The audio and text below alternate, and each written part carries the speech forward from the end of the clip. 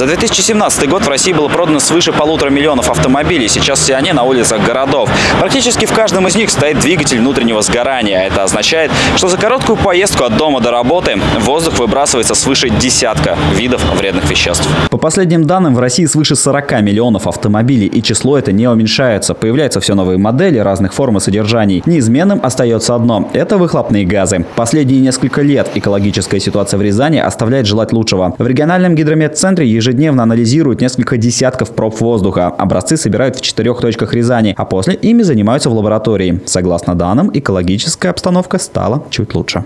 Уровень загрязнения в 2016 и 2017 году оценивался как высокий. В 2018 году произошло некоторое улучшение качества атмосферного воздуха. За истекший период 2018 года проанализировано более 20 тысяч проб, и по результатам наблюдений выявлено, что наиболее часто регистрируется превышение по э, фенолу, взвешенным веществам, э, сероводороду и формальдегиду. За 2016-2017 год превышения регистрировались по фенолу, сероуглероду, взвешенным веществам и диоксиду азота. Стоит отметить, что часть этих веществ входит в состав выхлопных газов автомобилей. Вероятно, именно эти показатели и стали причиной появления Дня отказа от машин, который пройдет 22 сентября. Вот только проводит его уже в 12 раз. И судя по данным Рязанского гидрометцентра, изменений практически нет. Однако экологи считают, что акция носит больше мотивационный характер. То есть основная задача – это показать людям, что автомобили используют используются нерационально. Надо людям разъяснять, что не так это безобидно, да, двигатели внутреннего сгорания, ведь там диоксиды углерода и разные токсичные вещества, которые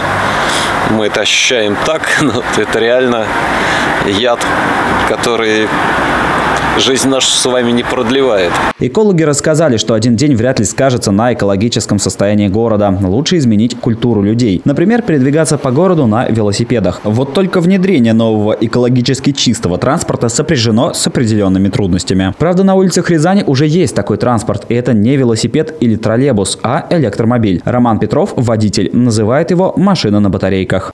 Обычного автомобиля она отличается тем, что у нее вместо двигателя внутреннего сгорания стоит электрический двигатель, как в троллейбусе. Больше никаких отличий от троллейбуса у нее нет. Она меньше урона наносит окружающей среде с учетом выработки электричества, передачи, потерь на транспортировке там, и так далее. Таких автомобилей в Рязани всего 9. Есть еще мини-кап, маленький грузовик. Цена на экологически чистый транспорт варьируется от 1 до 2,5 миллионов рублей. Роман признался, что в акции «День без автомобиля» он участвовать не будет. Другие же водители решают самостоятельно пересаживаться на общественный транспорт или нет. Может, 22 сентября – это один из тех дней, когда стоит прогуляться по городу и насладиться прекрасной погодой. Стоит отметить, что в 2016 году при предъявлении в общественном транспорте свидетельства о регистрации транспортного средства проезд был бесплатным. Сейчас таких льгот нет. Валерий Седов, Игорь Глотов, телекомпания «Город».